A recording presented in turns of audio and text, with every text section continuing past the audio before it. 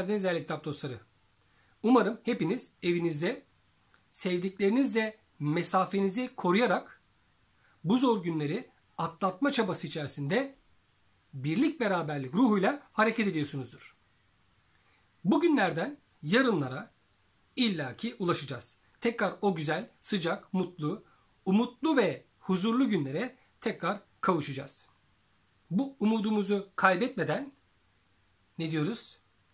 Evde kal Türkiye, koronavirüsle mücadeleye devam diyoruz.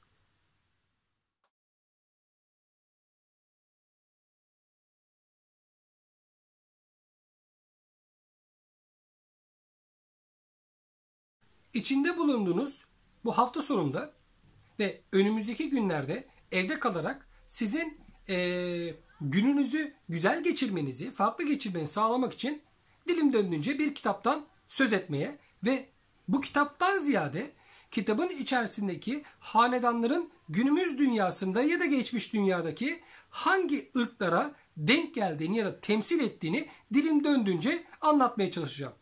Umarım sizin için de ilginç ve bir o kadar farklı bir içerik olur. O zaman ne diyoruz? Hadi bakalım.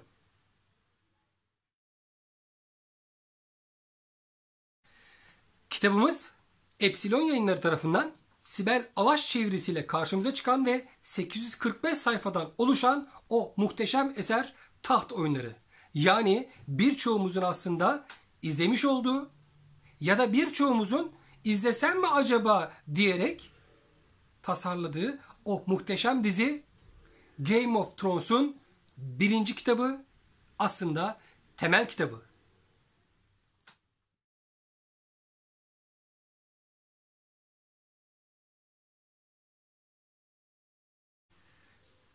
Diziye başlayıp diziyi bitiren arkadaşlarıma çok da fazla sözüm yok.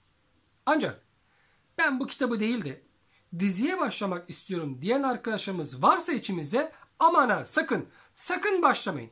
Bence yapmanız gereken şey öncelikle Taht Oyunları kitabını almak, Sibel Alaş'ın o muhteşem çevirisiyle beraber kahramanlar arasındaki o diyalogları okumak onların yanında onlarla beraber yürümek ve beraberinde 500. sayfadan sonra yine bana göre Game of Thrones dizisini açarak kitap içerisindeki kahramanların diziyle nasıl bütünleştiğini görmek ve canlandırmak olmalıdır. O zaman gerek kitap gerekse dizi bu anlamda çok da fazla yoruma gerek kalmadan sizi içine çekmeye ve tadına doyulmayan bir hayal dünyası sunmakta.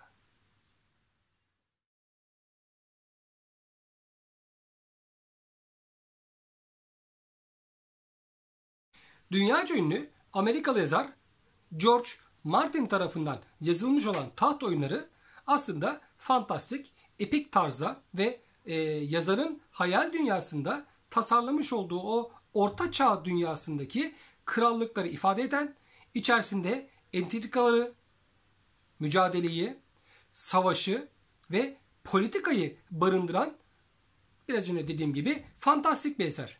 Ve beraberinde diziye aktarılmış olan Game of Thrones'ta yine özellikle görsel efektleriyle kullanmış olduğu çekim açılarıyla ve yine dizideki entrika ve mücadeleyi anlatması bakımından uzun zaman vizyonda kalmış, devam sezon dizileri çekilerek muhteşem bir finalle sonlanmış bir dizidir.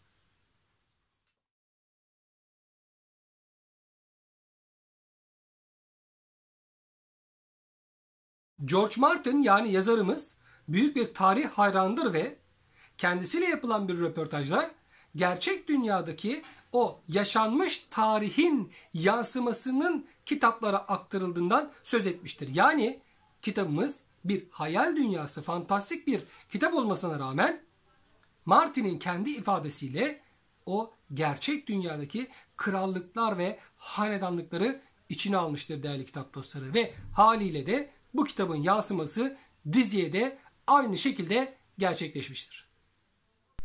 Peki taht oyunlarının temsil ettiği o krallıklar hanedanlıklar Game of Thrones'taki yansımaları hangi ülkeleri, hangi medeniyetleri içine almakta ve acaba neleri anlatmaktadır?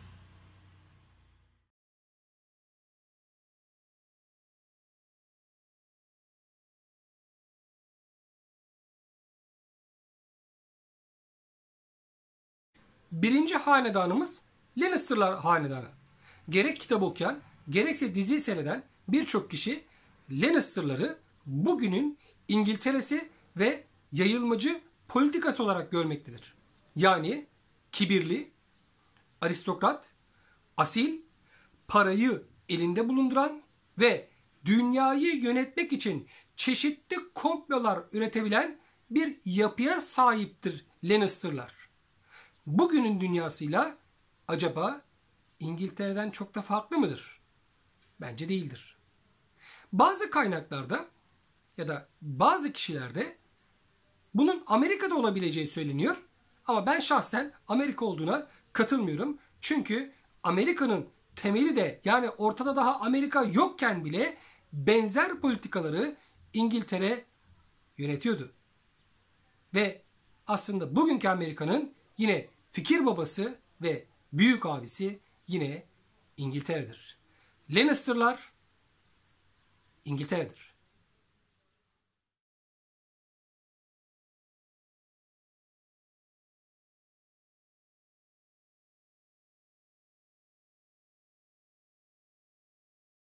Gelelim ikinci hanedanlığımıza. Bu hanedanlığımız ise Daenerys Targaryen'dır. Yani Targaryen hanedanlığıdır. Targaryen hanedanlığı batıdan uzakta yer almakta ve o tahtı ele geçirmek için çeşitli düzenler yapmaktadır. Ve bunun için de köle toplumları özgürleştirmek vaadiyle yola çıkmakta. Yine köleleri özgürleştirirken aslında yine köleleştirmektedir. Yola çıkarken kullandığı en önemli sembol ejderhadır. Ve ejderhanın bugünkü toplum modelinde ve batıdan uzakta yer alması anlamındaki karşılığı Çin'dir. O zaman şunu çok rahat söyleyebiliriz. Targaryen hanedanlığı Çin'i temsil etmektedir.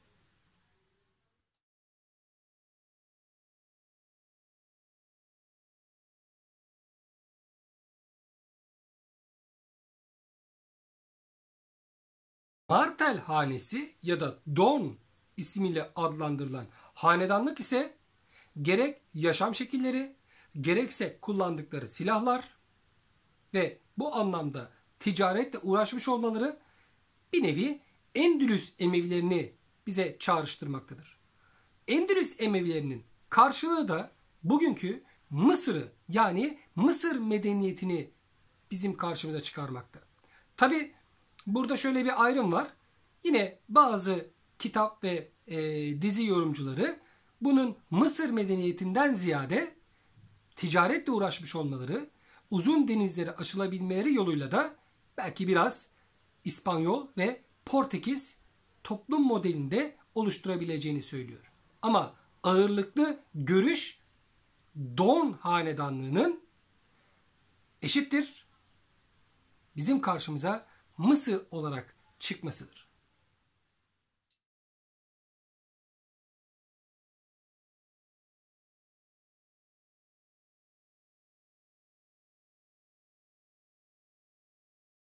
Gelelim Stanis Baratheon'a. Yani Baratheon hanedanlığına. Baratheon hanedanlığının bugünkü karşılığı aslında Almanya'dır. Almanya tıpkı kitapta ve dizide Stanis Baratheon'un tasvir edildiği gibi yani bu hanedanlığın tasvir edildiği gibi dünyayı ele geçirmek için iki büyük savaşa katılmış. Birinci Dünya ve İkinci Dünya Savaşı çok tanıdık değil mi? Beraberinde de bu iki savaştan da mağlup ayrılarak neredeyse tarih sahnesinden yok olma tehlikesiyle karşılaşmıştır. Ve o zaman biz şunu çok rahat bir şekilde söyleyebiliriz. Baraton hanedanlığının kitaptaki karşılığı bugünkü Almanya'dır.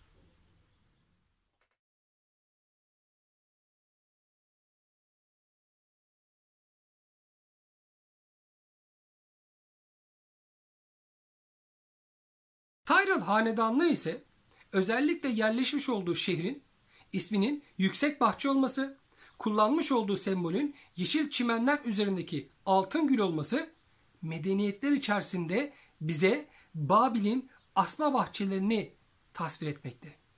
Ve kullanmış olduğu semboller, zenginlik ve yaşam şekillerindeki o formlarla beraber Babil'in asma bahçelerinin bulunduğu yer bir nevi Pers İmparatorluğu'dur. Yani Pers medeniyeti kitapta Tyrell hanedanlığını temsil etmektedir.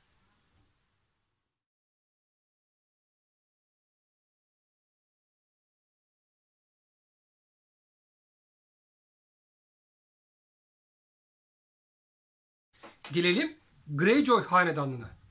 Birçok yorumcu Greyjoy hanedanlığını Yunan medeniyetiyle özdeşleştiriyor. Ancak biz Yunan medeniyetinde şimdi sayacağım özellikleri çok da fazla görmüyoruz. Peki nedir bu özellikler? Greyjoy hanedanlığı yağmacıdır. Uzak denizlere açılan gemileri vardır. Ekip biçmezler ve e, yerleşik hayatları çok da fazla yoktur. Talan politikası güderler ve sembollerinde de deniz yaratığı vardır. Biz tarih sahnesinde bunu Vikingler olarak görmekteyiz. Yani Vikinglerin özellikle biz ekmeyiz, yani ekin dikim işinde bulunmayız sloganı kitapta da dizide de karşımıza Greyjoy'lar olarak çıkmaktadır değerli kitap dostları.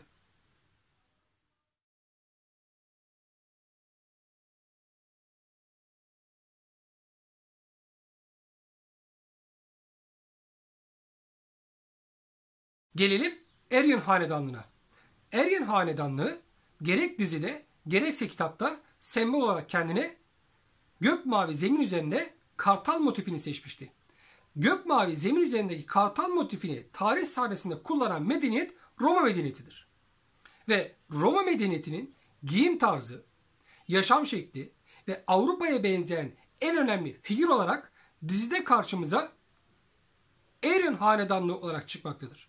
Ve özellikle 300 Spartalı'yı seyreden arkadaşlarımız illaki vardır içimizde. Orada Leonidas 300 Spartalı ile beraber Roma askeriyle beraber Perslere karşı mücadele etmiş ve gerek filmde gerekse kitaptaki en önemli vurgu biz onurumuz ve gururumuz için savaşır ve ölürüz olmuştur. O zaman şunu çok net bir şekilde söyleyebiliriz. Aryan hanedanlığının karşılığı dizide ve kitapta Roma'dır.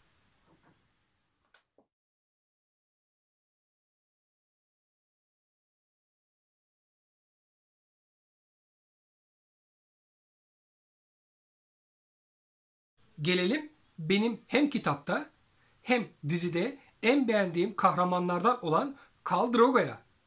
Khal Drogo yani Dotark hanedanlığı geçip gittiği yerleri yakıp yıkan, tecavüzlere sebep olan ve istilacı, katliamcı yapısıyla yayılmacı bir politika güden ve duruşuyla at üstündeki yetenekleriyle tipik bir Moğol hükümdardır.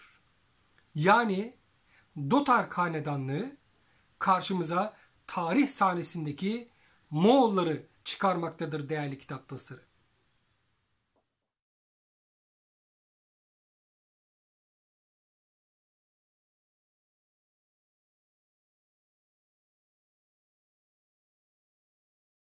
Gelelim son hanedanlığımıza.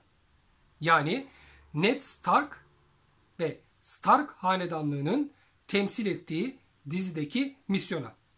Stark hanedanlığı Ned Stark önderliğinde kış şartlarının coğrafi şartların ağırlığından dolayı içinde bulunduğu coğrafyadan çıkmış ve bu çıkışla beraber çeşitli e, kavimlerle, çeşitli boylarla mücadele etmiş. Sembolü gerek dizide gerekse kitapta aktarıldığı üzere kurt olan, ihanete uğrayıp Ned Stark'ın çok da fazla spoiler vermek istemiyorum. Başına işler gelen, her bir aile ferdinin dağılmak zorunda olduğu dağılmak zorunda kaldığı ama hiçbirinin de tıpkı bizler gibi, Türkler gibi esaret altına alınamadığı yardımsever ama ihanete uğrayan bir hanedanlıktır.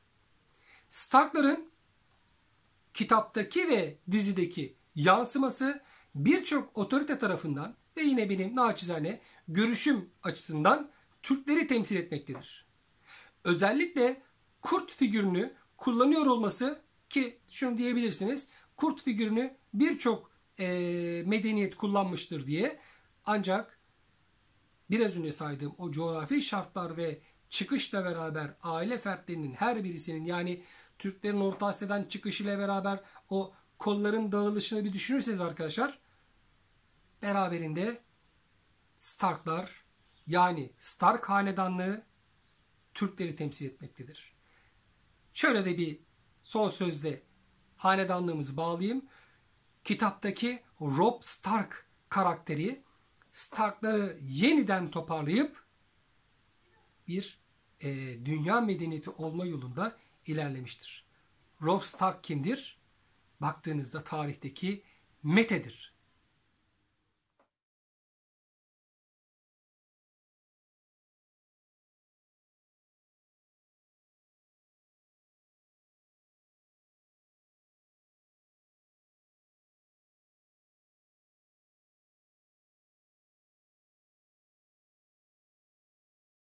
Gerek kitap serisini bitirmiş ve gerekse dizisini tamamlamış bir kişi olarak en çok hayran olduğum hanedanlık Stark hanedanlığıdır.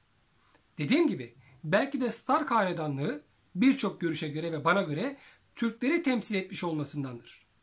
Ve en çok hayran olduğum karakter ise az önce söylediğim Drogo karakteri önemli ancak ben Stark ailesindeki Arya Stark'a hayranım. Arya Stark bu dizinin kalbisin. İyi ki varsın.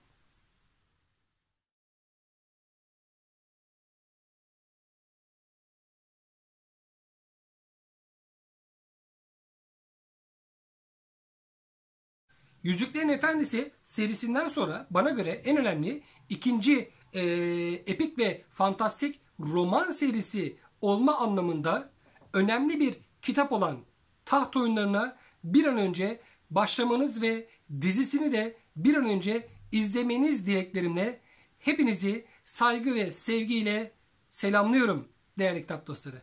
Hepiniz hoşçakalın ve lütfen temas mesafemize dikkat edelim. Virüsün bizim canımızı acıtmasına izin vermeyelim.